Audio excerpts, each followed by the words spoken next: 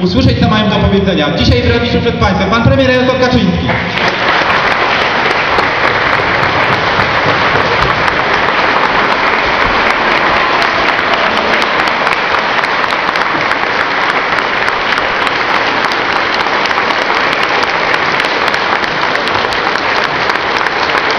O,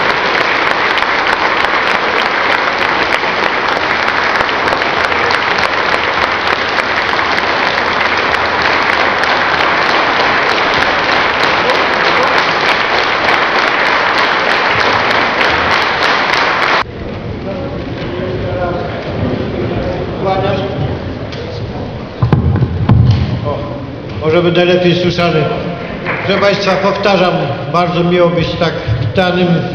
Jeszcze raz za to serdecznie dziękuję. Rzeczywiście jeżdżę w tej chwili po Polsce. Dzisiaj jestem już w trzecim powiecie.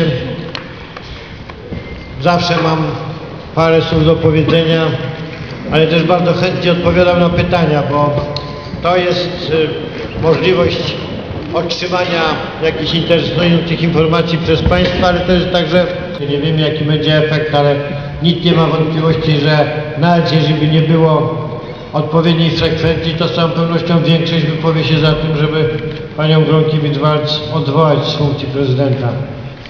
Krótko mówiąc, mamy sytuację inną niż kilka miesięcy, czy tym bardziej rok temu. I warto wobec tego zadać sobie pytanie, co z tego wszystkiego ma wyniknąć.